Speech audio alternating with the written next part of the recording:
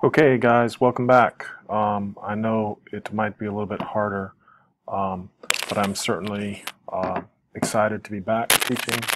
Um, and I know um, it might be a little bit challenging. Um, the first thing I want to do is I would like to say that um, I will do some live videos at one point, but I wasn't sure how things were going. So the first time I thought I would just go ahead and record everything and make sure it's working, and then I'll be able to talk to you live. Um, but um, I did tell you that we kind of had finished all of our geometry, so I'm going to start right back into the Algebra 2 program to kind of help you um, get ready for your entrance exams and your placements exams for next year and I really just want to uh, help you the most that I possibly can um, so that you'll be a, a better math student uh, in high school. So what we're going to do is um, we're going to start off with a little prayer, all right? And um, I'm not sure if anybody you are sick, but I'd like to say a special prayer for everybody. Um, I pray for your health and healing for you and your family. May God heal all of your sickness and free you from your burdens. He is our healer and deliverer, and He is well able. Amen. I really miss you guys, um, and I especially miss chapel, and um, hopefully we'll be back in school soon. But business is business, and we have to um, get as much information into your brain as possible. All right, so what we're going to do now is we're just going to go through these problems. Um, I really would kind of want to do these without a calculator just to practice your mental math. Um, there's not much to it. Um, but again, since I'm not there monitoring, um, I really kind of want to see the details when you upload it or you um, submit it back into Google Classroom for a grade. So I'll just be looking for those types of things. All right, some of it's good mental math, um, but let's go ahead and get started. All right. Um, this is actually section 1-1 from an Algebra 2 book. All right, so let's go ahead and knock this out real quick. All right, so A is negative 2 minus 2 times 3 plus 3 times 4.2. Um, negative 2 minus 6 plus 12.6 negative 8 plus 12.6 you're left with a 4.6. All right. So again, this is just reviewing basic order of operation, which was PEMDAS. Um, and again, should be straightforward, very easy for us. All right. So question number two, we have 2 times negative 2 plus 3 plus 3 squared, negative 4 plus 6 squared, negative 4 plus 36, 32. All right. Over here for question number 3, a is negative 2 plus 3 bracket 3 squared minus negative 2 plus 4.2. So again, negative 2 plus 3 times 9.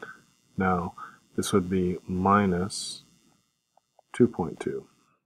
All right, so now negative 2 plus 3 times, now 9 minus 2 is 7, 7 minus 0.2 is 6.8.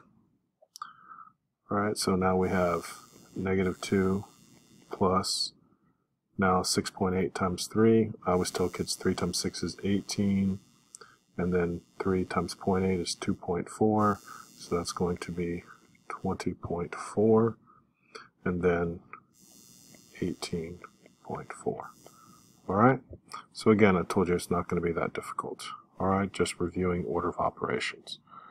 Alright now just so I can see my numbers um, number 4 5 times 4.2 minus 2 bracket 3 minus negative 2 plus 4.2. Alright, so now we have 5 times 4.2, 20. 5 times 2 is 1, so 21 minus 2. Now this is where they're trying to trick you. 5 plus 4.2, 21 minus 2 times 9.2, 21 minus 18.4. So again, 21 minus 18 is 3. 3 minus 0.4 is 2.6. All right. Now, again, shrink it down a little bit so I can see the numbers. So number 5, 4 parentheses 2 times negative 2 plus 3 times 3 minus 2 times 4.2. Alright, let's see how that goes. So 4 times negative 4 plus 9 minus 8.4. 4 times 5 minus 8.4. 20 minus 8.4. 12. 11.6. Alright, number 6 again. Got to be careful with the fractions. Alright, now negative 2 squared plus 4 times 4.2 all over 3 times 3 plus 2 times negative 2. Alright, now let's see what we got. 4 plus 16.8 over 9 minus 4. 20.8 over 5. Now, again, I think this is an easy one to divide out. 5 goes into 20 four times. Point, 5 goes into 8, 1 with the 3 left over, which creates a 30. So 5 goes into 30 six times. So 4.16 would be good. All right. Now I'm going to copy the uh, numbers right real quick and drag them down so I don't have to. All right, here we go. All right, and there I have, uh-oh, make a little bigger. All right, here we go. Now we can do the substitution better. All right, so here we go, number seven. 3 cubed plus negative 2 times 4.2 all over negative 2 times 3 plus 2 times 3 times 4.2. Okay, so now that is going to be 3 cubed is 27 minus, and then that would be 8.4 all over negative 6, and then 2 times 3 is 6. 6 times 4.2 would be 25.2. And so now on the top, 27 minus 8 is 19. 19 minus 0.4 is 18.6. And then 25 minus 6 would be 19.2. All right, now we have decimals and fractions, which we can't have. So we'll just move the decimal over to 186 over 192. Those are both divisible by 2, so that'd be 93 over 91. All right, so that's our answer for that one. All right. So again, it was just easier to just kind of reduce the fraction on that. Now what I want to do is I just want to shrink this down a little bit and start with question number 8. Alright, so again, here we go for number 8. We have 3 times 3 plus 2 times negative 2 over, looks like this one's going to be kind of easy, 5 minus 4.2. Alright, so now we have 9 minus 4 over 0.8. And again, 5 over 0.8. So we could make that 50 over 8, then reduce that by 2, and make 25 over 4. So there's my answer, 25 over 4. All right, that wasn't bad. All right, so let's take a look at number 9. All right, 3 times negative 2 minus 2 times 4.2 over 4 times negative 2 times 3. All right, so now let's simplify that. Negative 6 minus 8.4 over negative 8 times 3, negative 24.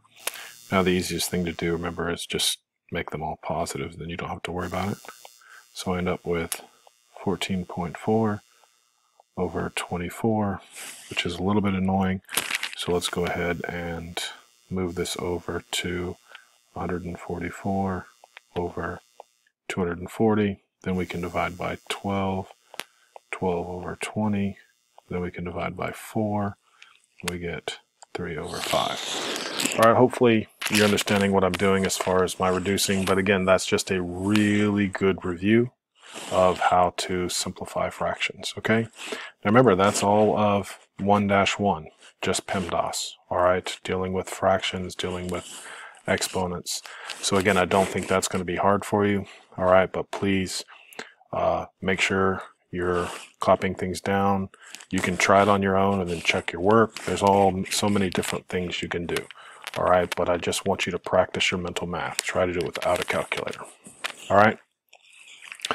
Now, the next section uh, is 1-2, uh, and it's just dealing with the properties of real numbers and the names. All right, so let's go ahead and start with just the names of the numbers. All right, um, and basically we have been working in the real number system.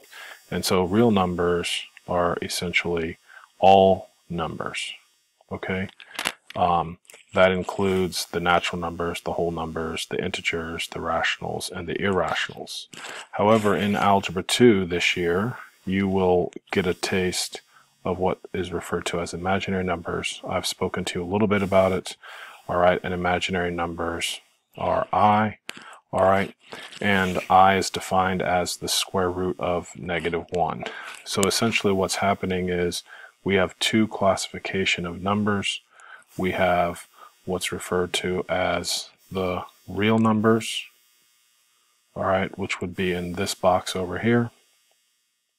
And we have the imaginaries, which would be over here. All right. And imaginaries have to have i in them. All right.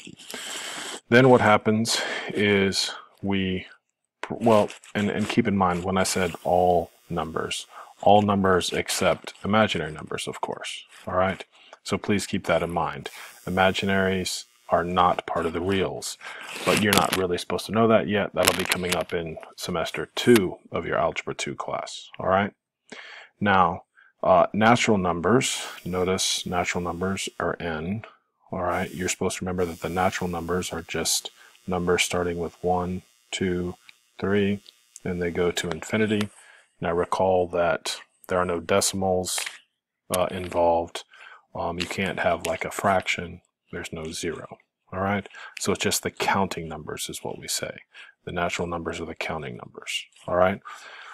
Now, again, whole numbers, the only difference between a uh, natural number and a whole number is the number zero. So it's zero, one, two, dot, dot, dot. All right, which just basically means there's only one number that separates a natural number and a whole number, and that number is zero. Um, and again, of course, you label whole numbers with a W. All right, now we get into integers, all right, which surprisingly they give as the letter Z. Not exactly sure why, but they decided to call it Z. All right, I was irrational, it could be imaginary, so they had to change the letter. But surprisingly enough, your integers are just dot, dot, dot, negative 2, negative 1, 0, 1, 2. And basically integers are just counting numbers and their opposites. Counting numbers and their opposites. All right? Um, and they use the letter Z. All right, now rational numbers, I used to tell you, was just be any number that can be written as a fraction.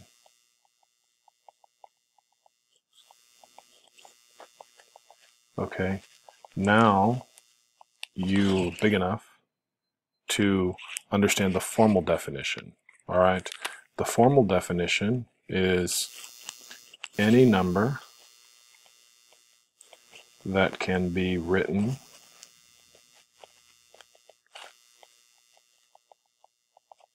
in the form a over b where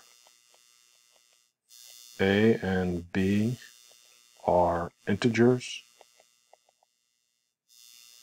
um, and b cannot equal 0. Again, the reason why b cannot equal 0 is because um, that would make it undefined because again you can't divide by 0. All right.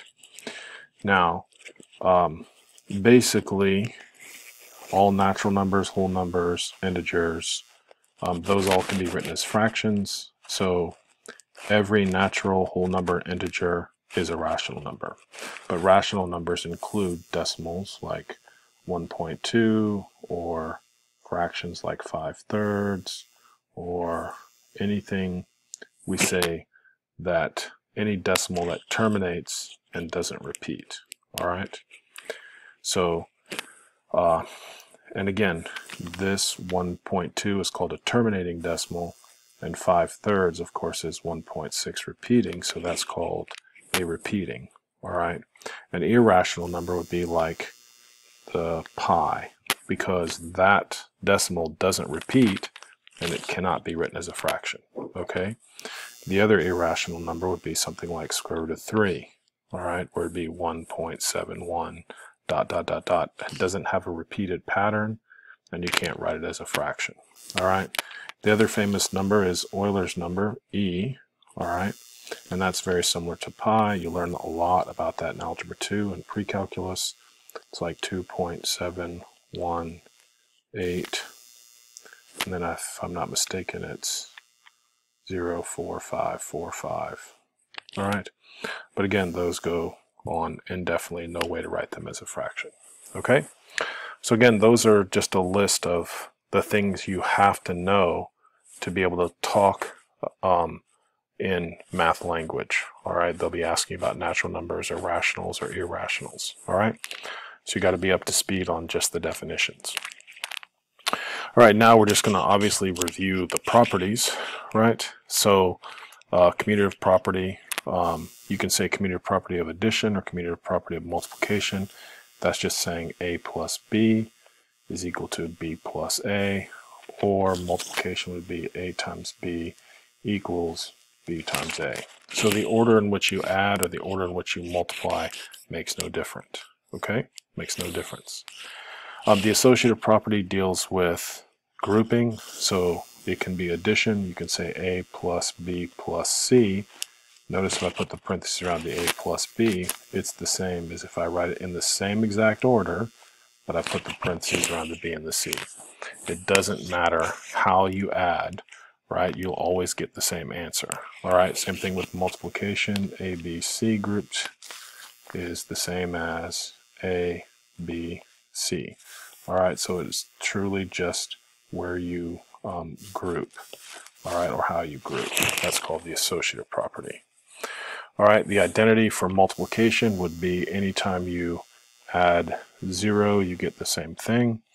And anytime you multiply by one, you get the same thing. So that's called the identity. All right. Again, these are all review problems, all right, that we learned a long time ago. All right, but you need to be up to speed on them.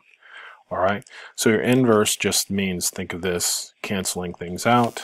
So we say A plus negative a is equal to 0, and we say a times 1 over a equals 1.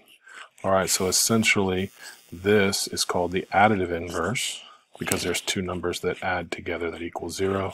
And this is called the multiplicative inverse is because there are two things that multiply and cancel. Okay, so again, all right, let's talk about the closure property.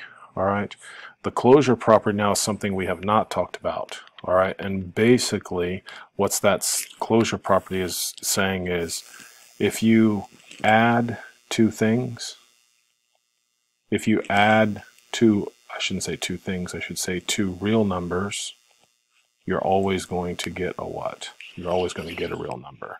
In other words, there's no way you can add real numbers and get something that's imaginary or something that doesn't exist. Same thing with multiplication. A times B we say is closed because if you multiply two real numbers, you're going to get a real number. Now, there's one little thing I want to remind you of. A divided by B is not closed. All right, the reason we say it's not closed is because if B is zero, then you don't have a real number anymore. It's undefined. All right, so keep a mental note of that. All right, sometimes that's on a test, and I actually saw it on ACT test recently. All right, and finally, the distributive property. All right, can be summarized as A, everybody's done this a bunch, which would just be A times B plus A times C. All right, so again, guys, that's it for 1, 2. 1, 3 is just what? Solving equations. You guys are experts on solving the equations, so I don't really need to explain anything on that. I just want you to work hard on the IXL um, and knock that out. Now, I want to talk about the IXL. You're expected to go to Algebra 2 IXL now and do A1 and A2 and B1. And what's going to happen is I'm going to grade that, all right, to make sure you understand what we're doing. Then, however, I did not find a good uh, uh, for the properties. So I wanted you to go back to Algebra 1 and do H1 and H2. And this is probably the only time we're going to go back to Algebra 1. But I need you to go to Algebra 1 and do H1 and H2. Okay? So guys, that's it. Um, we're going to try to do some live things. I know I may have mentioned that earlier, but I really and truly miss you guys. Um, I hope you guys are doing well. Um, I um, hope to see you soon. Hopefully this coronavirus uh, gets uh, solved. Um, but again, keep you in my prayers and hopefully uh, you are safe. Uh, and if you have any questions or concerns, you can always uh, contact me um, through Google Classroom or what other uh, devices that you have. All right, you guys take care. Have a safe day.